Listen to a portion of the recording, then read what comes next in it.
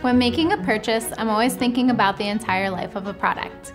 Do I have to buy this product brand new? Can I buy it used? If I can get it used, I feel good knowing it likely has a lower impact on the environment because I'm extending the use phase of that item.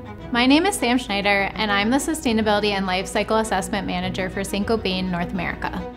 As a manufacturer, Saint-Gobain has a huge opportunity to make a positive impact on the environment because everything that we do affects the downstream user. We need to establish a way of measuring how much a building, product, or system is affecting the environment, especially an object's carbon footprint.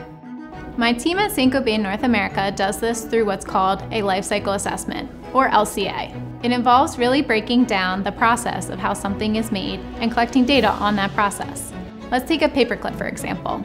There's the metal that goes into making the paperclip, the choice of whether that metal used is recycled or not, the transportation of the raw material to the factory, the forming of the metal into the paperclip shape, and where that energy comes from.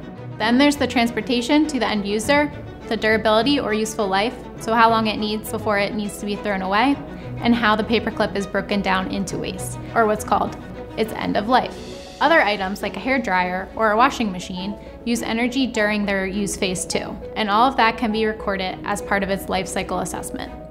As a manufacturer, we're looking at the whole life cycle, every step of the way, and identifying all the areas where we can create more sustainable products. At Saint-Gobain, we have an ambitious goal of creating LCAs for 100% of our products by 2030. We're not just focusing on a few, we're doing all of them. It's a large task, but it's super important and why our team continues to grow.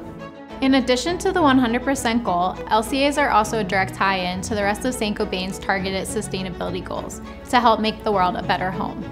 If we're improving our manufacturing efficiency and using less natural gas, the impacts of reducing carbon emissions related to Scope 1 are also reflected in the life cycle assessment.